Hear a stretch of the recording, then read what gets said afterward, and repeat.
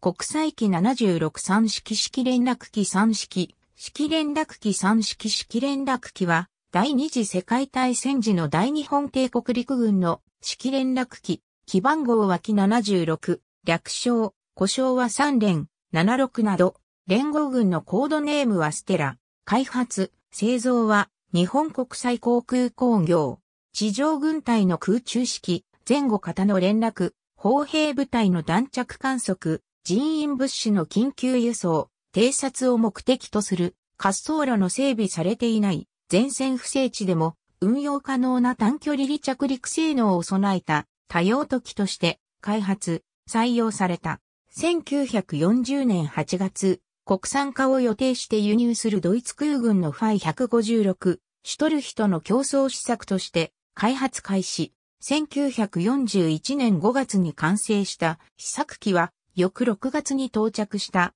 ファイ156との比較審査の結果、これを上回る性能を示し正式採用が決定した。そのため本機はファイ156の単純なコピーやライセンス、生産機ではない。高翼配置の主翼と支柱の構成、車輪間隔が広く長い支柱を持つ支脚など、ファイ156によく似た外観を持つが、全長全幅ともに、本機の方がわずかに大きい。また、空冷星型9気筒エンジンを搭載したので太い、円錐形の胴体となり、液冷倒率 V 型エンジンに合わせて細く角張ったファイ156の胴体とは大きく異なる。太い胴体は操縦席からの視界の面で不利になるが、胴体側面まで回り込む大きな曲面窓の採用など工夫を凝らした結果、見えすぎるとまで言われた良好な視界を確保している。本機開発に際し適当なエンジンがなかったことから、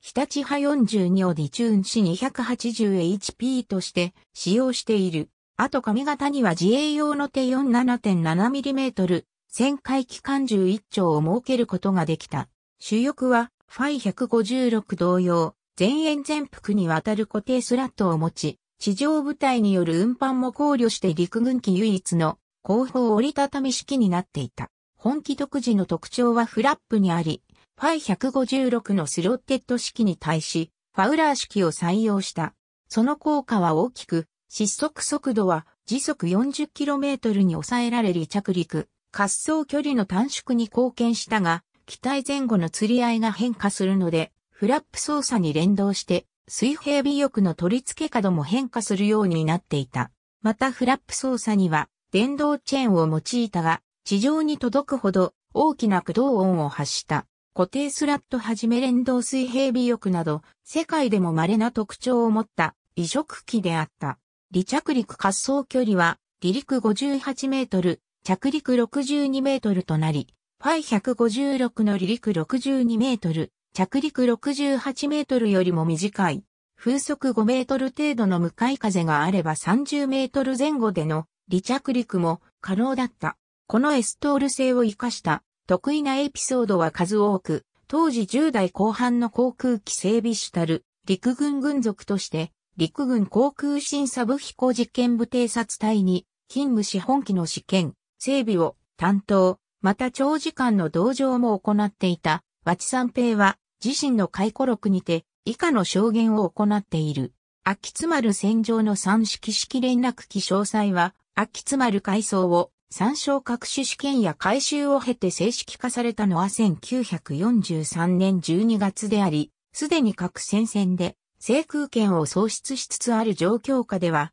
最高速度が時速 200km に満たない本機を前線で運用するのはほぼ不可能となっていた。そこで、その離着陸性能と低速性能を買われ、機関操縦者がグライダー操縦経験のある特別操縦見習い士官第一期出身者にて、構成される独立飛行第一中隊が編成され、帝国陸軍の上陸用終艇母船たる揚陸艦を改造した一種の船団護衛用、護衛空母である秋津丸の関西機となり、日本近海で対戦哨戒任務に就くことになった。陸軍航空審査部飛行実験部偵察隊による運用試験及び秋津丸改装を経た後、独立飛行第一中隊による胴体仮面に爆雷を搭載し、着艦フックを装備した本機による対戦紹介任務は1944年8月から11月まで日本海において行われていたが、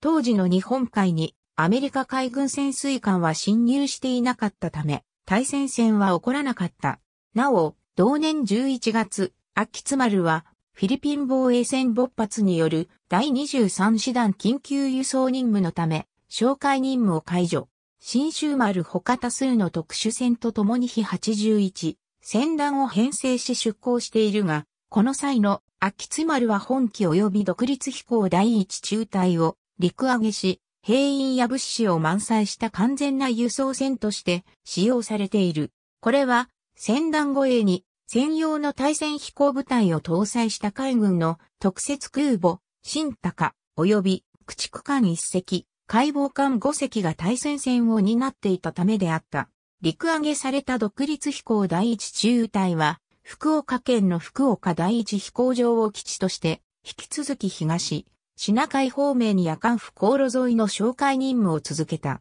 そして1945年の夏に朝鮮半島に移動しそこで終戦を迎えた。その他、配備状況、総制作機数などの詳細は不明だが、陸軍航空審査部では上述の通り積極的に輸送、連絡に使用され、また沖縄でアメリカ軍に露獲された機体もあり、本来の連絡機として国内各地で使用されたものと思われる三面図ワチ 2008P88 ワチ P90 ワチ 2008P254 ワチ 2008P268 ワチ 2008P291 ありがとうございます。